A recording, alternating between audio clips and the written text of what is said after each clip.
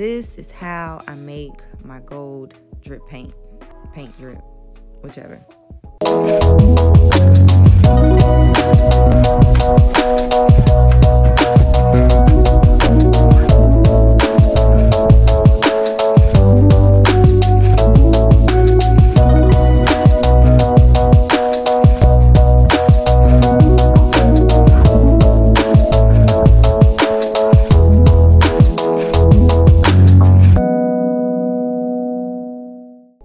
Okay, so first things first, I got this gold luster dust off of Etsy. I'll drop their link in the bio.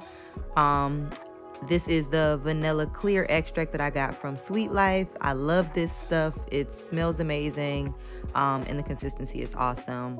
Um, so the first thing that you want to do is you want to get a teaspoon of the gold luster dust and put that in that bowl. Um, the next thing that you want to get is a tablespoon of the powdered sugar um, and put that in the bowl. That's more so for the consistency um, of that. So what you want to do after that is just mix everything all together. Of course, just make sure that it's really fine. Make sure that you're um, mixing out all of those little white powdered sugar balls that you have in there.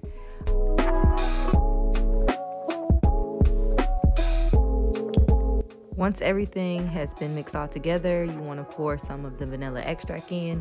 Um, excuse me, I'm an oddballer, but if you do need to measure it out, just use like a tablespoon of the vanilla extract and then use like a half a teaspoon um, to measure it out after that so that you don't overdo it.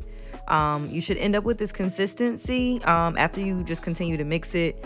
If you don't, add some more powdered sugar to it, or you can use like a really little bit of um, cornstarch. You don't want to use too much cornstarch though. So I made this paint for this white peony. Just wanted to get the tips done and it's a cake coming up, so stay tuned.